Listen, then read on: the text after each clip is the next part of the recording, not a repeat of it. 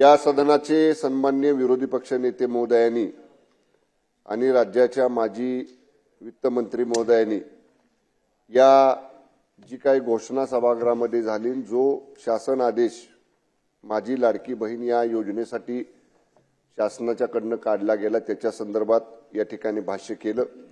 हक्कभंग होतो का नाही हा अधिकार आपला आहे सर्वस्वी त्यामुळं त्याच्या बाबतीतलं मी भाष्य करणार नाही. परंतु मान्य विरोधी पक्षनेते महोदय देखील बोलताना सन्मान्य जयंत पाटील साहेब देखील बोलताना म्हणाले की श्रेयवादाची लढाई आहे का? तुम्ही आधी बोलायचं का? मी आधी बोलायचं. मान्य वडट्टीवार साहेब आणि मान्य पाटील साहेब हे महायुतीचं सरकार हे असं श्रेयवादात कधी गुरपटणारं नाही.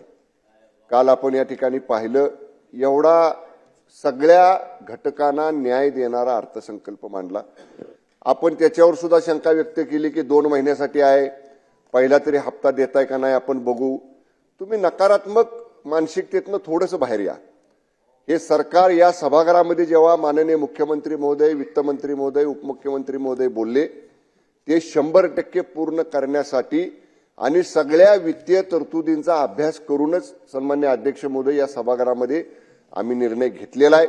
मी आपल्याला एवढंच सांगेन की जो काही शासन आदेश काढलेला आहे तो या सभागृहामध्ये अर्थसंकल्प वाचून झाल्यानंतर त्याच्यापूर्वी मंत्रिमंडळानं ज्या योजनेला मान्यता दिली मंत्रिमंडळाचा जो निर्णय झाला तो मंत्रिमंडळाचा निर्णय हा शासन आदेशामध्ये पारित करण्याची पद्धत आपली आहे. मंत्रिमंडळाने एखादा निर्णय एक मिनिटं विरोधी पक्षनेते मध्ये माझं होऊ द्या माझं होऊ द्या ना. मग आपण जरूर बोला. मंत्री एक मिनिट. मंत्री मंत्रिमंडळानं निर्णय घेतला त्याचा शासन आदेश काढला. आणि समजा आम्ही शासन आदेश तातडीनं काढला तर आता हरिभाऊ म्हटले तसं त्याला विरोध आहे का यांचा? की का काढला?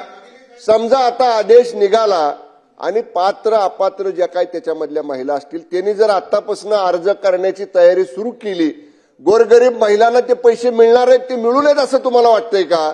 त्यामुळं अशा अनावश्यक बाबीमध्ये पुन्हा आणि परत सरकारवरती आक्षेप घ्यायचा त्यांच्या काळामध्ये कधी एक रुपया महिलांना मिळाला नाही. या योजनेसारख्या योजनांमधनं. आणि मग आता मी परत परत सांगेन आम्ही केलेलं शिंदे साहेबांच्या फडणवीस साहेबांच्या दादांच्या नेतृत्वाखालचे हे चांगले निर्णय याच्यामुळं ज्यांना या ठिकाणी पोटात दुखायला लागलेलं आहे किंवा ज्यांना आता वाटतंय की हे आम्ही करू शकलो नाही ह्यांनी कसं केलं ते नाराजीच्या मानसिकतेतनं नकारात्मक मानसिकतेतनं अशा पद्धतीचा सरकारवरती आक्षेप करतायत. सरकारनं नियमानुसार योग्य ते निर्णय घेतलेले आहेत. एबीपी माझा. उघडा डोळे बघा नीट.